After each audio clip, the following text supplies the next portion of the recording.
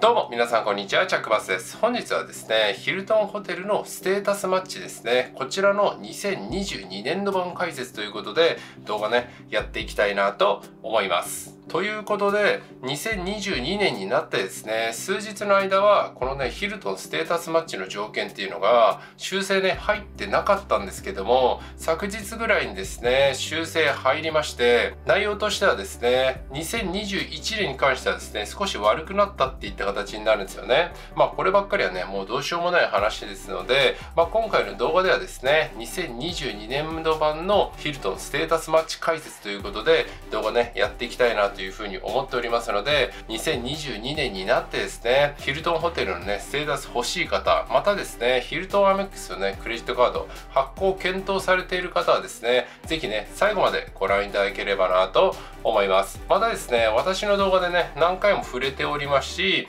先日行ったねニューヨークのコンラッドニューヨークでもね実際に体験してきましたけどもヒルトンホテルのねステータスのゴールドダイヤモンドに付帯している朝食特典なんですけどもこちらですねアメリカ本土自体にはなるわけなんですけども朝食特典っていうのはですね現在ねアメリカ本土ではホテルクレジットにね変更っていった形になっておりましてこちらもですねホテルのブランドによってこのもらえるホテルクレジットっていうのはね、まあ、変わっておりまして、まあ、非常にね使いづらいものになっておりますので、まあ、一応ですね現行発表されている状態ではですね、まあ、2022年度中でね、まあ、終わるっていう話なんですけども、まあ、こちらね本来2021年で終わるっていった話が結局22年度まで延長みたいな形になっておりますんで、まあ、今後ですねさらに延長、まあ、またですね今後ねこの対応がグローバル対応みたいなね感じで、まあ、日本にね入ってくる可能性もですねゼロではないかなっていうふうに思っておりますので、まあ、この点もですね考慮していただいてですね利用ねしていただければなと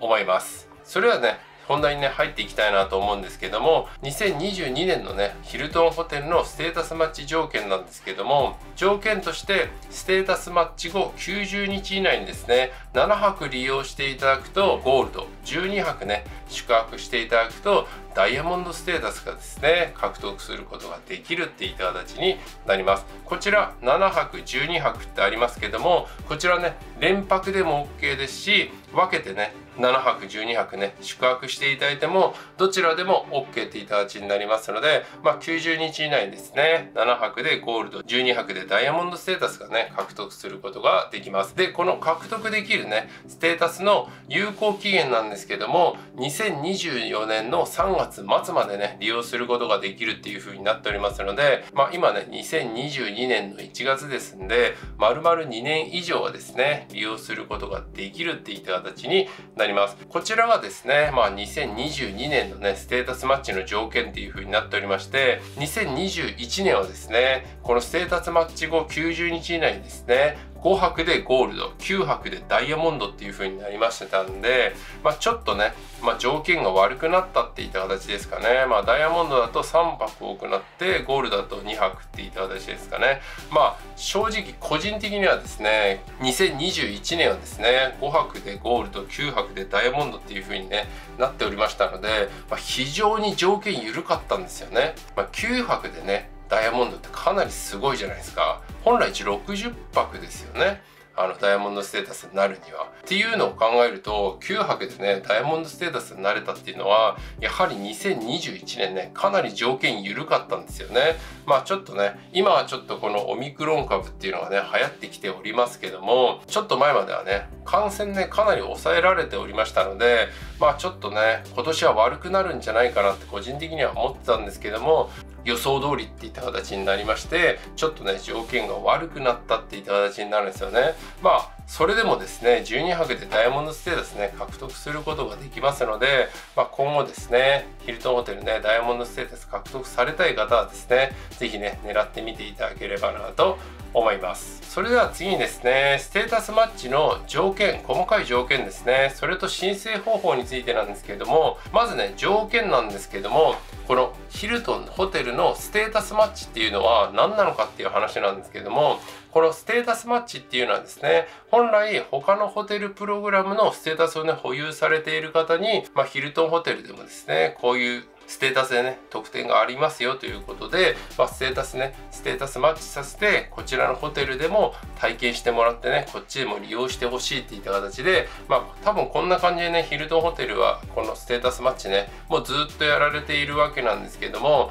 ステータスマッチ元のねホテルプログラムが必要っていう風になるんですよね。で公式サイトにね記載があるわけなんですけどもこういった形でですねステータスマッチ元のホテルプログラムをね選ぶ画面がありましてマリオットであったり IHG ハイアットベストウエスタンチョイスプリビレッジっていった形でまあ一応あと他ってのもあるんですけどもまあこういった形でですねまあ基本的にですね他のホテルプログラムの上級会をね持っていないとですねこのステータスマッチっていうのは行うことができないっていった形になるんですよね。ですので今後ねここのステータスマッチね、利用されたい方はですね、まあ、SP ジャーメックスを発行していただいて、マリオットボンバル上級会員になってステータスマッチするか、もしくは IHG っていうね、ホテルプログラムにはアンバサダーっていうのがありまして、そちらね、年間200ドルね、払うと、プラチナだったかな？ステータスになれるんですよね。で、それになってね、申請するっていうね、2つの方法がありますので、まあ、ここはね、まあ、あの、お金を払ってね、まあ、どっちにお金を払ってね、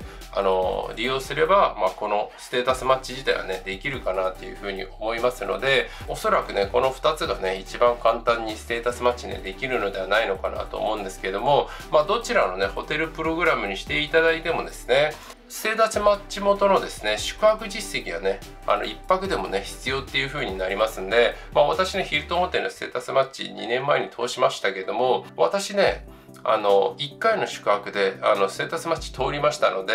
まあ、特にねあの何泊以上しなきゃいけないみたいなものはないと思うんですけどもステータスマッチ元のねホテルプログラムで少なくともね1泊はねしとかないとステータスマッチね通らないっていう風になると思いますのでまあ SPGRMX ね IHA のアンバサダー、まあ、どちらにしてもですねそちらになって1泊してステータスマッチね申請していただくっていった形になるんですよね。またもう一つね条件がありましてステータスマッチ自体はですねヒルトンホテルのゴールドステータス未満の方にね向けたサービスっていう風になっておりますんでヒルトンホテルのゴールドステータスを持っていてでステータスマッチを行ってダイヤモンドステータスになりたいみたいなそういった形はですね利用することができないんですよねですのでヒルトンホテルのねゴールドステータスね持っている方はこのステータスマッチでダイヤモンドステータスねなることができませんのでこの点はね注意していただければなと思います。それでは次にですね、ちょっとね、ここに携帯の画面ね、出しておきますけれども、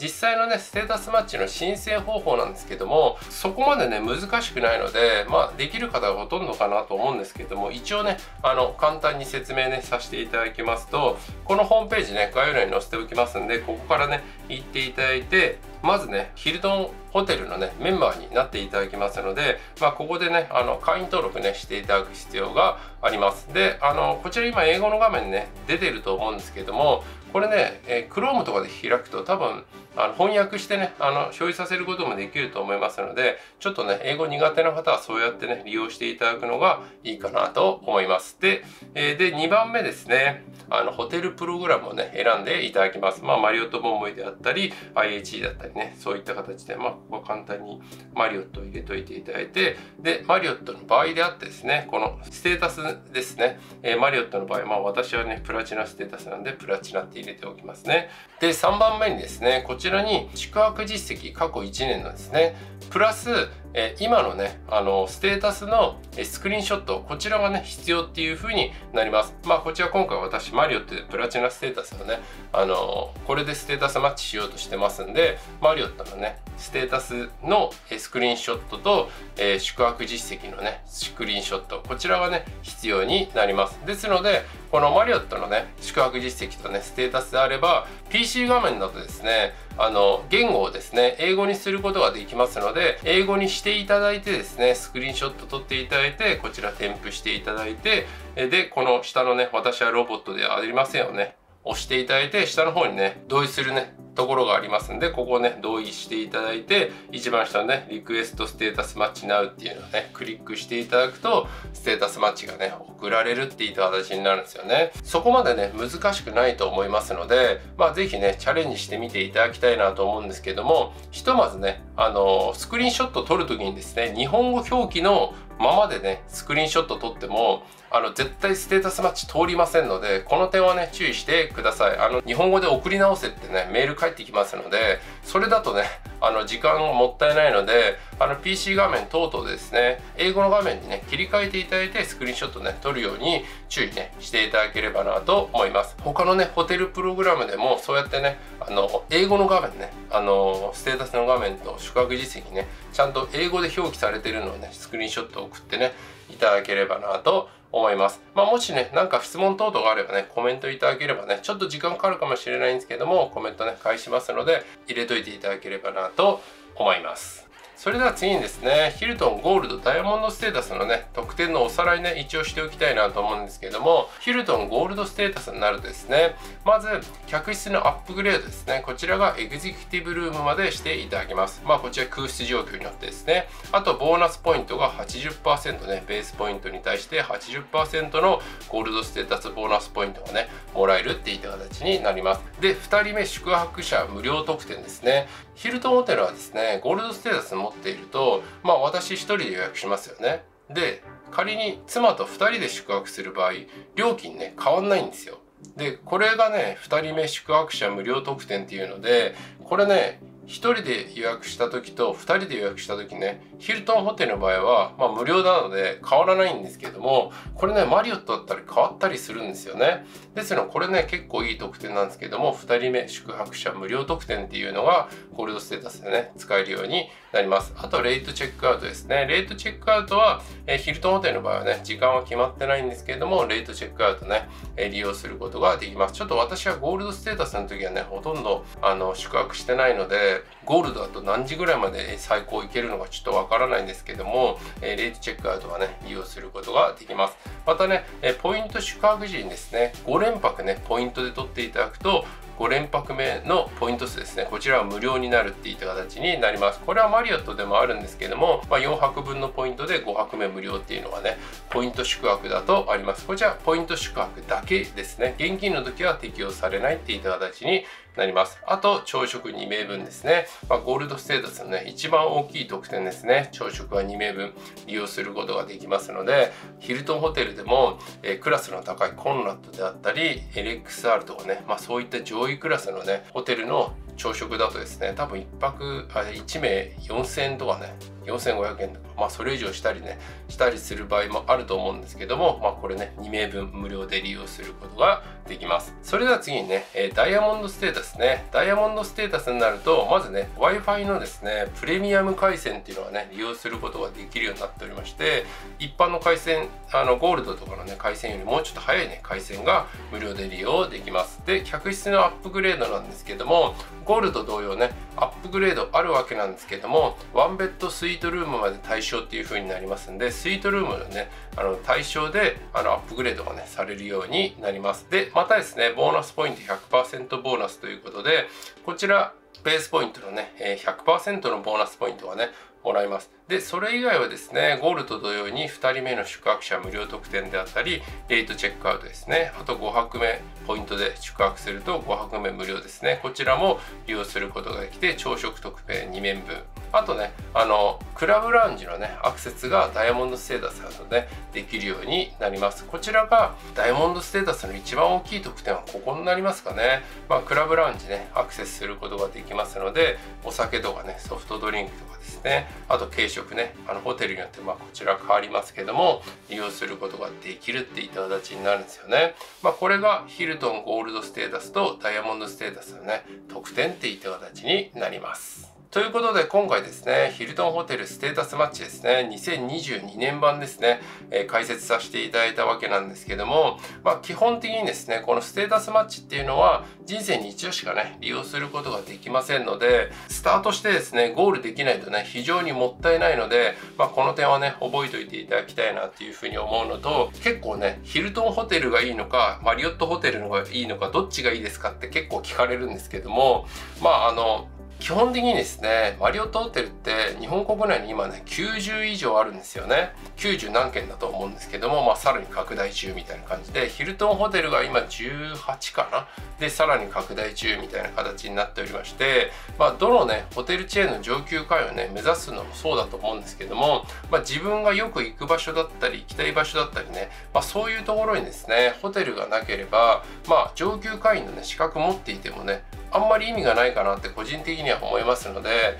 まあ、あの行きたいところにねあるところに、まあ、あの上級会のね資格持っといた方がまあ個人的にはいいんじゃないかなというふうに思うのとマリオットはですねこのパンデミックがありましたけどもマリオットって黒字なんですよね。で、ヒルトンは赤字なんですよね。で、冒頭にもね、言ったと思うんですけども、ヒルトンのね、ゴールドステータス以上の朝食特典、まあこれはゴールドでもダイヤでもそうなんですけども、朝食特典ね、正直ね、いつなくなるかね、わからないっていうふうに思ってるんですよね。まあ、米国本土ではね、今あの、ホテルクレジットに切り替わっておりまして、それが2021年までってなったのが2022年までになって、まあ、今年1年ね、まあ、そういう対応でアメリカ本土ではされるわけなんですけどもどうなっていくのかっていうのはですね正直全然わかんないんですよね、まあ、こういったねステータス特典っていうのはいつ解約がね来るか分かりませんので、まあ、この点はねあの覚えておいていただきたいなと思います。個人的にはですね、まあ、ヒルトンとマリオットねホテルの数が全然こう日本国内ではね違いますのでまあマリオットホテルの方はねいろんなところにねありますんで選択肢としてはですね非常に利用しやすいのははねたくさんホテルがある方はね利用しやすいのはね間違いないかなというふうに思いますのでまあ個人的な意見だとそんな感じですかね。で今回ねヒルトンのステータスマッチねゴールドとダイヤでね説明させていただきましたけどもあのヒルトンゴールドステータスね獲得したい方はあのステータスマッチね検討するんじゃなくてヒルトンアメックスクレジットカードねちょうど1年前ぐらいにね発行開始になりましたけどもこちらね、発行していただくのがね、早いです。もう発行していただければですね、発行するだけでヒルトンのゴールドステータスに、ね、なることができますので、その方はね、まあ年会費はですね、1万5000円で、税込1万6500円、まあかかるわけなんですけども、ヒルトンホテルね、年に数回宿泊していただいて、まあ2人とかでですね、朝食3、4回取ればですね、まあ元は取れるかなっていうふうに思いますので、まあこの元を取るかっていうのもですね、結構まあ計算とか必要になるわけなんですけどもまああのステータスマッチするよりかはですね、はるかにね、ハードルは低いかなっていうふうに思いますので、もしね、ヒルトンゴールドステータスね、欲しい方はですね、ヒルトンアメックスね、一般カードね、発行していただくのがね、いいのかなと思います。またね、クレジットカード更新していただいて、年間150万円以上ね、前年使っていただければですね、ウィークエンド無料宿泊特典っていうね、あの宿泊特典、まあ、無料宿泊券みたいなのがねもらえる。まだねこれ発行されて発行開始されてまだ1年経ってないのでまだ誰も獲得したことないんですけども、まあ、これもですね150万円の決済積んでいただければ獲得することができますので、まあ、一般カードねかなり条件いいかなっていうふうに思いますのでこちらもね覚えておいていただければなと思います。またですねあの私もね2019年あ2020年かステータスマッチね行っておりましてまあ、実際にかかった日数とかね、そういったのも公開しておりますので、まあ、概要欄にね、動画載せておきますんで、気になる方はですね、そちらもね、ぜひチェックしてみていただければなと思います。ということで、今回の動画はね、こんな感じで終わりたいなというふうに思います。この動画が役に立った方は、いいね、チャンネル登録ぜひお願いいたします。私、ブログ、Twitter もやっておりますんで、フォローチェックしてあげるととても嬉しいです。それではまた次の動画でお会いいたしましょう。バイバイ